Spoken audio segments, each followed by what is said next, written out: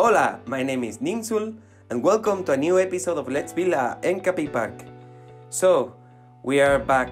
I have deleted once again the whole content I have created in the previous episode, and we are going to start from scratch the designing of the second area of the park, the sun theme area. And I think, guys and girls, I have to give you some reasons of, on why have I discarded the whole content I have created in the previous episode. And uh, if I have to resume those reasons, I would say it was not good enough. I mean, it was a nice area. I love the single rail coaster and I love the concept of the central plaza with the canal for the boat ride. But there were some other points I didn't like and made me make this decision.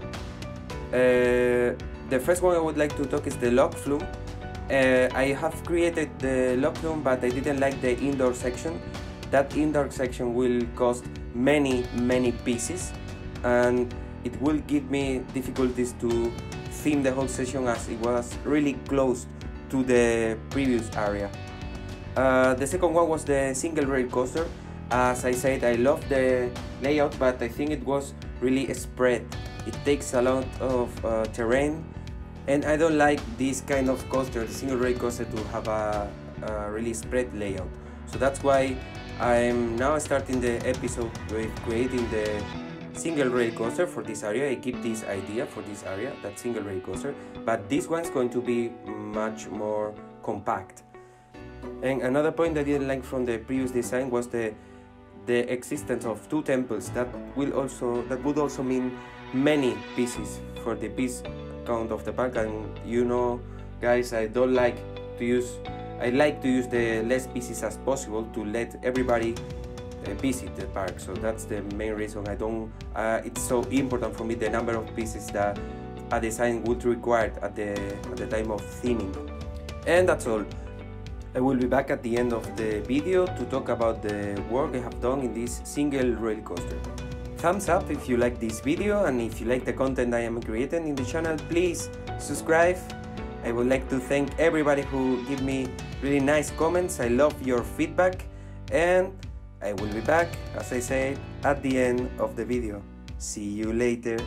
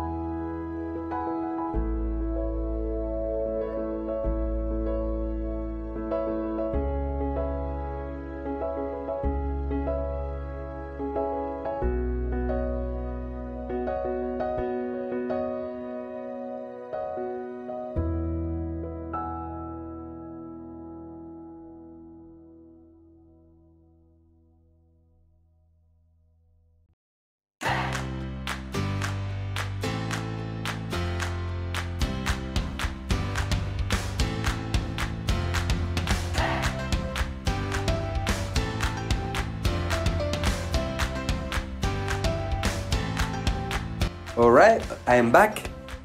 Well, as you could see, the main work of the this episode was the layout of the single rail coaster. I used many predefined tracks as I did for the previous design. I really like the compactness of the coaster. This coaster will have a pyramid on the lift and first drop, or a kind of pyramid temple. You will see that in the following episodes. And I think I, I, like pretty much the layout of the coaster, and I would not say that the final layout of the coaster. I would never say final in this uh, uh, series, but I really like the, the concept I have created for this coaster. I'm currently working with the terrain, with the path and so on, but those are only uh, provisional uh, layouts for the path and will not be final because this area includes a water attraction, a water ride at the beginning this is supposed to be a log flume but I think I will make a different log flume using the water uh, coaster, the cascade. I would like to make something similar to Chiapas in Fantasialand, a water coaster or log flume. Some, of pe some people think it's a log flume, some people think it's a water uh, coaster. I only know that it's a great ride and I would like so to make something similar with a different theme here in this area. But that will be in the next episode. So guys and girls if you like this episode and you are not subscribed to the channel please subscribe to the channel and see you in the next episode. Adios